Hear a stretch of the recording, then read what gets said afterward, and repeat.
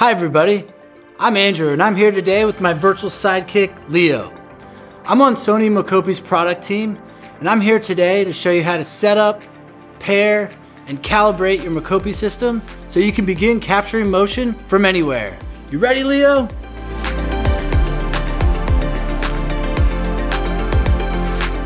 First, you'll need to download the Mocopi app.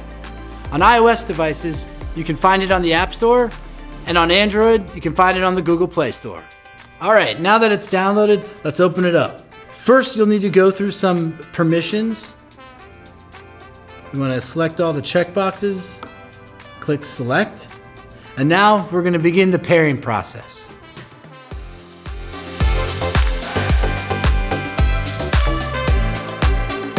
So you wanna make sure you have your sensors flat on the table.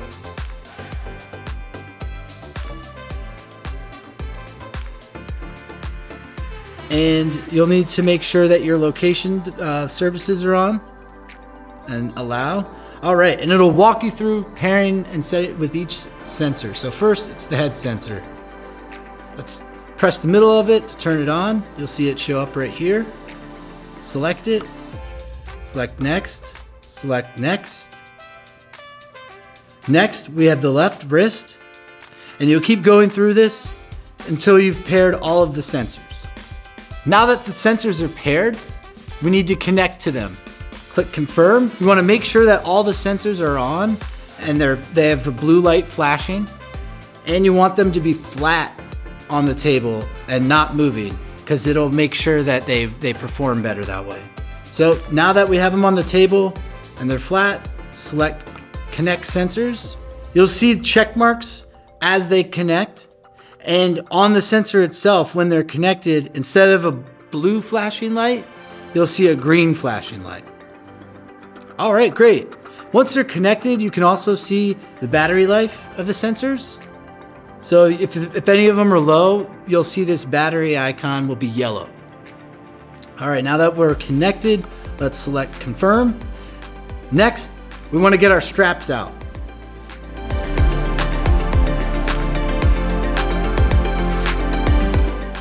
Now we wanna put the sensors on the straps.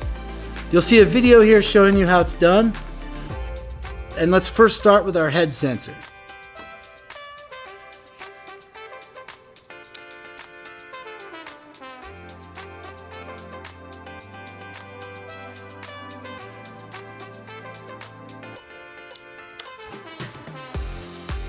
They clip right in, and once they're in, they're secured. You see they really won't come out unless you press these two buttons on the side, these two, and then it'll come out. When putting the wrist strap on, one little tip is you want the strap to be above your wrist bone. If it's too close to your hand, it'll move when you move your hand, and that will affect the, the accuracy of your tracking.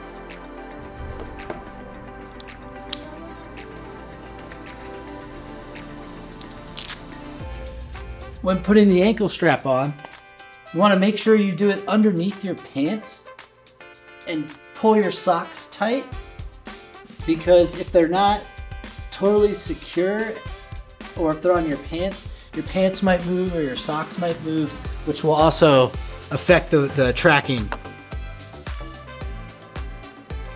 And with the hip sensor, just wanna clip it to the back of your belt or pant strap right in the center. Now it's time to calibrate. Once you get to the calibration screen, what you're gonna wanna do is select your height. If you notice that the units are not what you're familiar with, you can select the three dot menu in the upper right, go to settings, and then change the unit to what you're familiar with.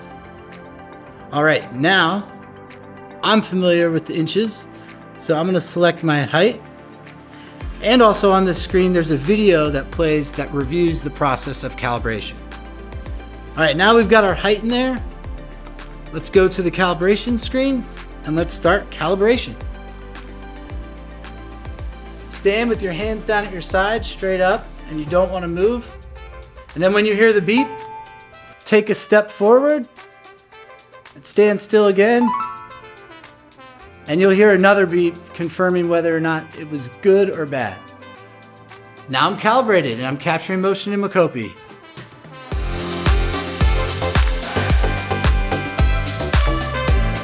After calibration, and you get to the, the motion capture aspect of the application, you have a couple modes.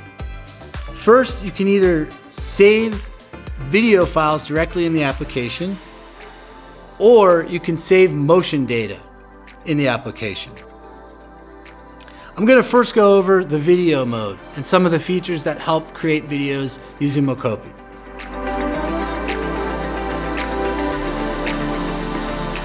First feature we have here is the avatar feature. With the avatar feature, you can use, there's a couple avatars that come with the app, or you can use custom applications. First thing you'll need to do is select the folder you want to use where it will read those custom applications. I'm going to just use the documents folder here on my phone. All right, now it comes with Raynos Chan right here or the human avatar right here. You can also load avatars using Vroid Hub.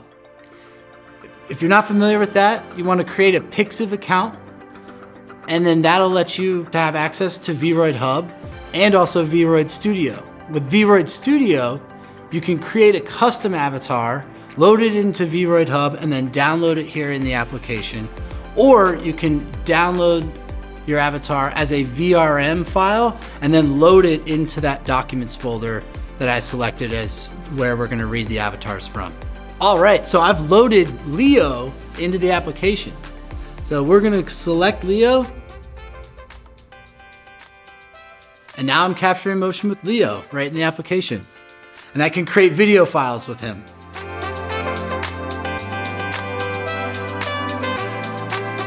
One of the next feature I wanna go over, which helps with creating nice video content, is the background.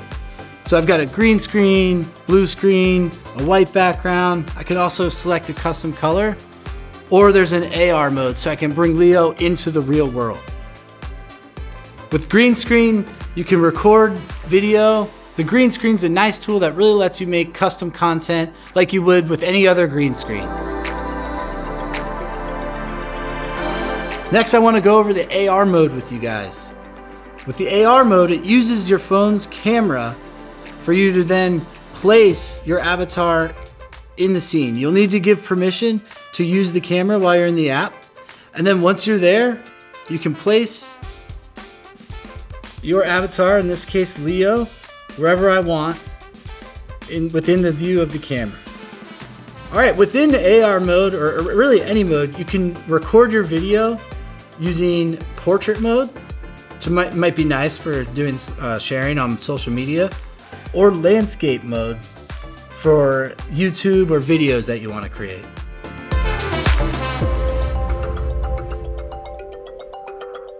Another helpful tool is if you're capturing motion and you're looking at the application while doing it, you might find the mirror function useful. It just mirrors your avatar's motion on the screen. And another one is the mic option.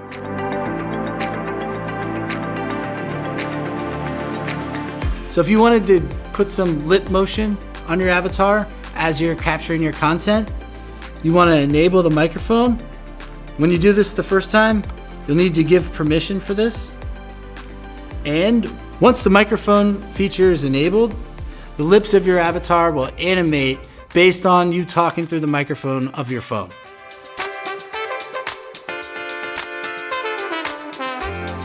Also, when you're on the screen, you can pinch and zoom in to get a closer look of your avatar and position how they want. And there's another feature that's really helpful, which is the fix camera. So when that's selected, the camera stays in place and you can move the camera around and I can walk out of the shot, walk into it. So it gives you control of a camera in the scene. So I can really get a close-up shot and show you how the lip fe feature works with microphones on. So now, talking into the application is Leo.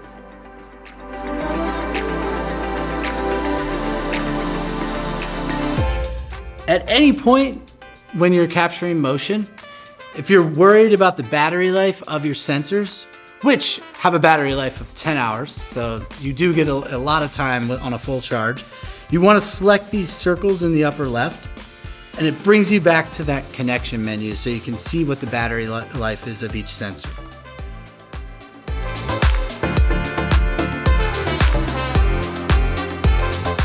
Another useful feature is the lock hip feature. If you want your avatar to sit and stay seated, that's what it lets you do. So, best way to use this is open up the menu, sit down so your avatar's in position, and select lock hip. Now you'll see that the avatar is still, their hip is still down. I'm able to still move the legs, but if I stay seated during this whole time, the capture's a lot better. There's no movement of the hip.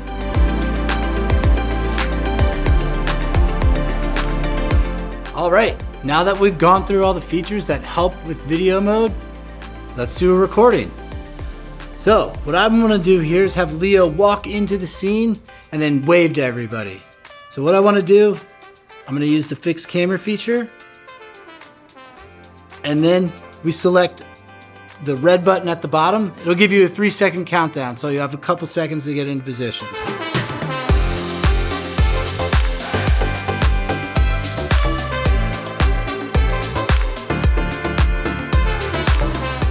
And then you click stop.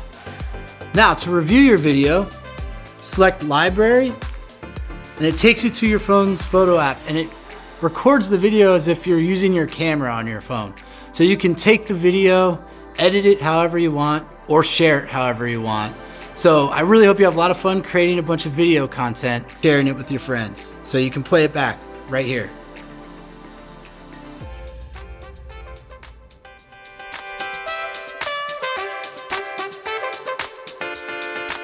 All right, now that we've gone through the video mode, it's time to go over motion mode.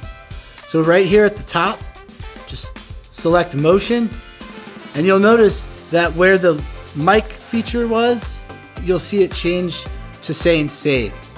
And within motion mode, there's a couple ways, a couple modes. You have the save mode, which saves motion data directly to your device as a BVH file, or there's send. And what send does is it streams the motion data to one of our integrations. So if you're using Unity, Unreal, Motion Builder, it'll send it directly to those softwares so you can work with motion data right there. So let's first go over the save function. So with save, it's similar to video, except it's just a raw motion data. It's not gonna save a video with it. You press the red button here down at the bottom, and you can record your motion. So I'm gonna do some jumping jacks here. All right, click stop. And it asks you what folder you wanna save it in. I'm just gonna save it directly in the documents folder. And you can also play it back, just like the videos.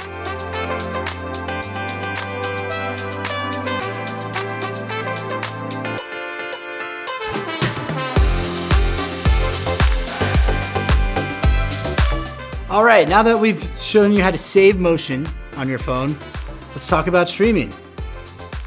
So what you wanna do is press save and you'll see it switch to send. You'll also notice that the button at the bottom went from red to green. So that's one way to tell the difference between whether or not you're in save mode or send. The first thing you'll need to do is make sure that your phone and the computer that you're streaming to are on the same network. Once you're on the same network, you want to, on your computer, find the IP address and then take that IP address and open up your three dot menu, go to settings and select PC connection settings. You want to enter that IP address there, select the port you wish to use, and then use the UDP transfer format. Select OK. Once you've set up the, your, your software to receive the Mocopi stream, you simply just press the green button at the bottom and it will stream your data right into your software.